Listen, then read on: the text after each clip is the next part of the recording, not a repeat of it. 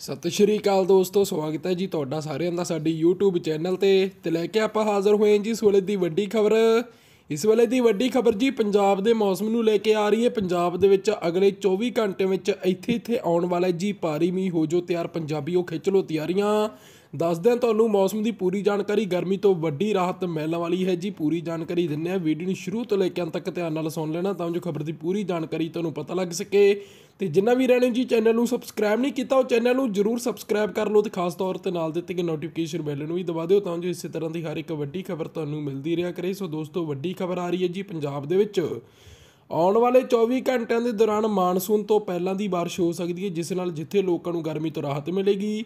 ਉੱਥੇ ਝੋਨੇ ਦੀ ਬਜਾਈ ਕਰਨ ਵਾਲੇ ਕਿਸਾਨਾਂ ਵਾਸਤੇ ਵੀ ਇਹ ਲਾਹੇਵੰਦ ਸਾਬਤ ਹੋਵੇਗੀ। ਪੰਜਾਬ ਐਗਰੀਕਲਚਰ ਯੂਨੀਵਰਸਿਟੀ ਦੇ ਮੌਸਮ ਵਿਭਾਗ ਦੇ ਡਾ- ਡਾਕਟਰ ਕੇ ਕੇ ਗਿੱਲ ਨੇ ਦੱਸਿਆ ਹੈ ਕਿ ਇੰਨੀ ਦਿਨੀ ਸ਼ਾਮ ਦੀ ਨਮੀ ਤੇ ਰਾਤ ਦੇ ਤਾਪਮਾਨ ਵਿੱਚ ਵਾਧਾ ਹੋਇਆ ਹੈ। ਇਸ ਨਾਲ ਗਰਮੀ ਵੱਧ ਗਈ ਹੈ। ਅਗਲੇ 24 ਘੰਟਿਆਂ ਦੇ ਦੌਰਾਨ ਪੰਜਾਬ ਦੇ ਵੱਖ-ਵੱਖ ਥਾਵਾਂ ਤੇ ਮੌਨਸੂਨ ਤੋਂ ਪਹਿਲਾਂ ਮੀਂਹ ਪੈਣ ਦੀ ਸੰਭਾਵਨਾ ਹੈ, ਜਦੋਂ ਕਿ 30 ਜੂਨ ਤੋਂ 2 ਜੁਲਾਈ ਤੱਕ ਮੌਨਸੂਨ ਦੀ ਬਾਰਿਸ਼ ਹੋ ਸਕਦੀ ਹੈ। ਇਸ ਦੇ ਨਾਲ ਹੀ ਜੀ ਉਹਨਾਂ ਨੇ ਝੋਨੇ ਦੀ ਬਿਜਾਈ ਕਰਨ ਵਾਲੇ ਕਿਸਾਨਾਂ ਵਾਸਤੇ ਵੀ ਇਸ ਨੂੰ ਲਾਹੇਵੰਦ ਦੱਸਿਆ ਹੈ। ਉਹਨਾਂ ਨੇ ਕਿਹਾ ਹੈ ਕਿ ਇਸ ਨਾਲ ਜ਼ਮੀਨਾਂ ਹੇਠਲਾ ਪਾਣੀ ਬਚੇਗਾ ਤੇ ਲੋਕਾਂ ਨੂੰ ਵੀ ਗਰਮੀ ਤੋਂ ਰਾਹਤ ਮਿਲੇਗੀ।